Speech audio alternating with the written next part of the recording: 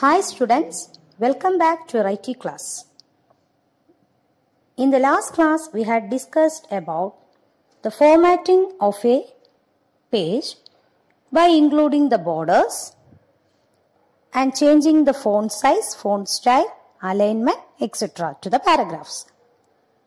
Today, we will study another topic that is subscript and superscript.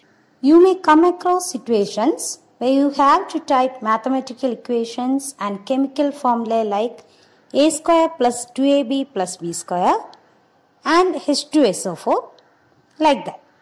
Have you noticed that in the terms a square and b square, 2 is placed a little above the other letters. This is called superscript. Likewise, in H2 and O4, 2 and 4 are placed slightly below the other letters and this is known as subscript.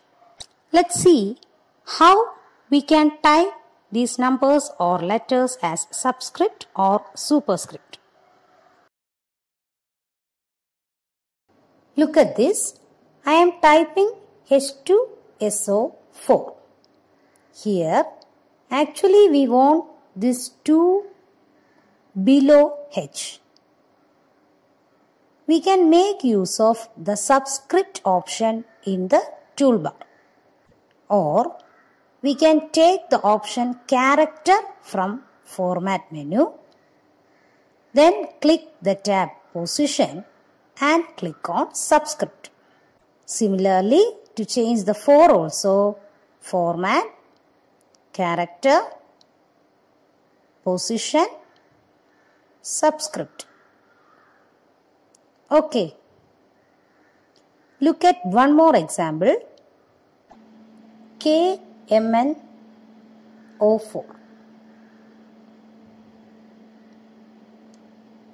Here also we want the 4 in the lower position that is as subscript. So we can use the subscript option. For convenience, I am giving the option subscript from the shortcut toolbar. Now, listen to this. I am typing a square plus 2ab plus b square. Here also we want these two 2's in the upper position, right? So, in the same way, format, character, takes superscript from the position. Okay. Format, character, superscript. Clear?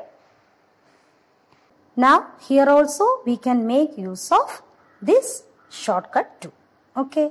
Our next activity is to include header to our document. Do you know what is the header? Header is a heading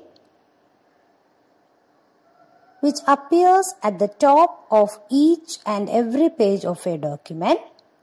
Here we want to give page number as the header to our document. Let's move to the activity.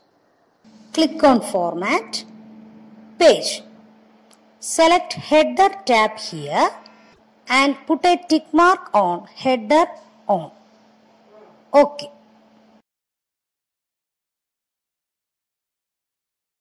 We can see the header here.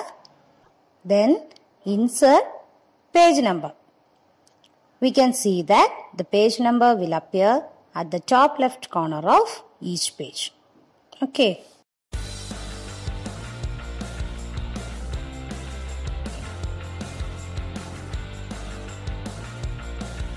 Okay children, this is the end of this part of the video. We will continue our lesson in the next class. If you have any doubt, ask me through the WhatsApp group. Thank you for watching.